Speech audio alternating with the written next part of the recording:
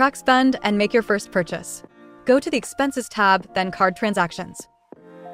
Here you can stay on top of team activity without chasing people down all in one location in real time. You'll see your current balance. This shows how much you've spent in 30 days. Also, when your next payment is scheduled. Your total limit, which changes based on the amount in your bank account. You'll also see all your transactions, including pending and cleared.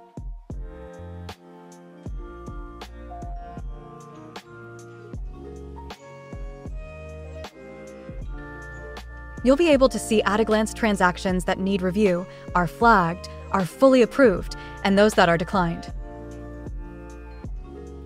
Click into any transaction to see more details and edit them.